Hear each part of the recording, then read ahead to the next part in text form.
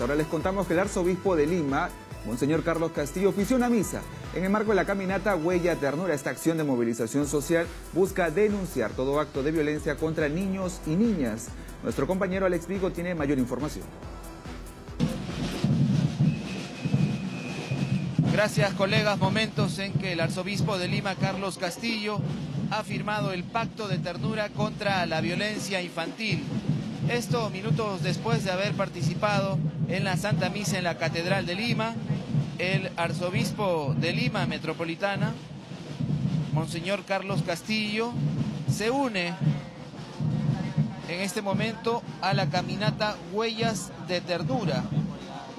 Importante esta actividad que viene recorriendo toda América Latina y el Caribe, desde México hasta la Patagonia, con una cometa como símbolo de la niñez llena de pactos de ternura.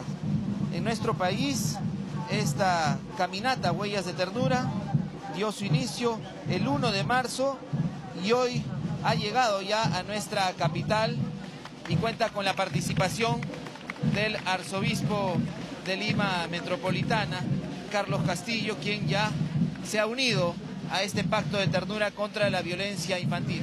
Vamos a conversar rápidamente con el arzobispo de Lima. Estamos para TV Perú.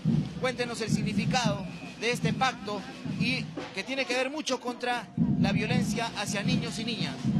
Es una decisión de todas varias instituciones a nivel mundial, pero a nivel sobre todo América Latina, del CELAM, del CEAS, de la Cáritas, de los colegios Fe y Alegría, Fe Alegría, de varias instituciones que han hecho posible que ese pacto lo avancemos para que eliminemos la violencia del trato con los niños.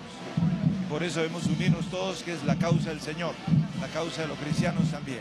Precisamente acá estamos viendo la cometa de la ternura. ¿Cuál es el significado de esta cometa que va a volar por distintos países? Que debe volar por todos los aires la esperanza. Y por eso debemos estar unidos para que haya ternura en todas partes y se vea por los aires, se respire el aire de una verdadera, de un verdadero mundo y una América Latina que, que, ama, protege y promueve a los niños. No, señor, en su mensaje en la, en la...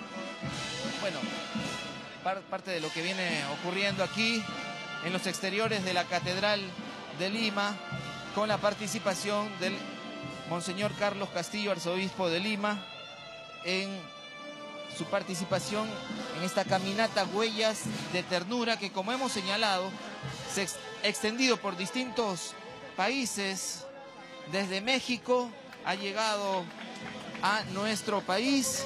El objetivo es que pueda llegar hasta la Patagonia con este mensaje que hemos escuchado de la propia voz del arzobispo de Lima. Él está dando su bendición a esta cometa de la ternura que se estará trasladando por las principales calles de no solo de Lima, sino también hacia el sur, posteriormente hacia el Callao, llegará también vía Ica, posteriormente a Arequipa, a la ciudad de Mollendo, a Chala, Moquegua.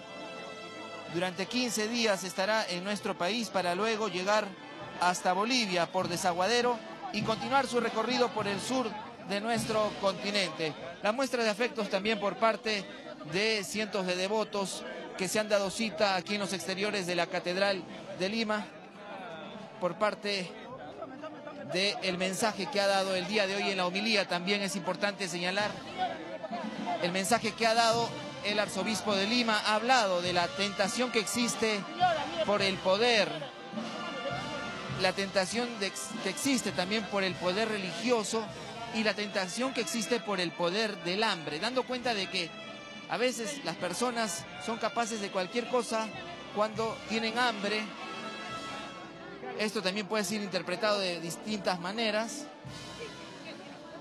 Y también hablando sobre la tentación por el poder. No es correcto sentirse igual que Dios, sentirse un todopoderoso. Ante los problemas que generan las tentaciones por el poder, ha señalado el arzobispo de Lima que siempre estará presente el camino del Señor, la oportunidad que tiene cada persona por girar hacia el camino correcto y estar del lado del Señor siempre está presente, depende de la decisión de cada uno. Es lo que ha dado el día de hoy como mensaje el arzobispo de Lima a cientos de devotos aquí en la catedral y luego en la participación uniéndose a esta caminata Huellas de Ternura. Parte del mensaje entonces el día de hoy aquí en el centro de Lima. Adelante colegas con más detalles en Estudios Centrales.